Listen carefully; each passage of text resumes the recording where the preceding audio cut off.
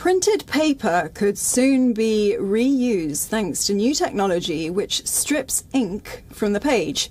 An Israeli company has developed a laser system that allows a single piece of paper to be used up to 10 times. From afar, this looks like your ordinary printer.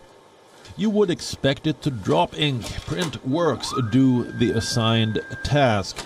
But once looked closely, you realize this machine is doing the exact opposite. It is a printer in reverse. Developed by an Israeli company, Reep Technologies, this device can strip off ink from a sheet of paper, make it shiny white, brand new. A deprinter is basically works exactly like a printer, except that it does the reverse. You put a single print uh, after you print it into the tray, and it deprints it through a laser process. And at the output, you have a clean sheet ready for reprinting. The company says the technology will help to significantly reduce paper consumption, which will consequently save trees and help the environment. They call it circular printing. The circular economy is, is here to stay, and people understand that um, everything needs to be circular today. We just can't keep the consumption models as they were before. And we need to think about climate change that it's here. And you saw what happened in the UK with the temperature rises. Uh, it could barely come to, uh, to the UK last month uh, due to the weather.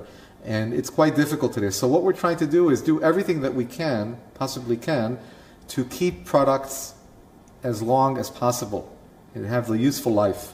And just that uh, our technology actually enables that for the print and paper sector, at least on all printed matter, to allow them to give them a second and a third and actually a tenth life.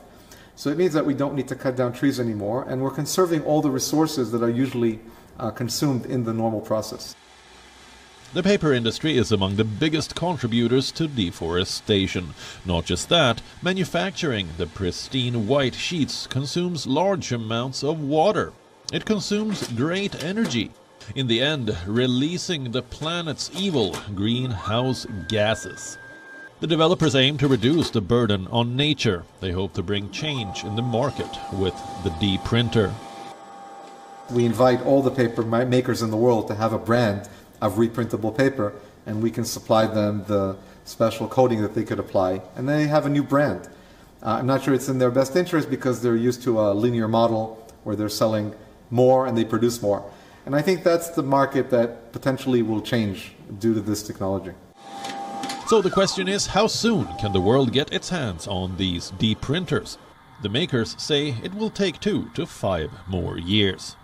Until then, the world will have to stick to recycling bins for their paper waste.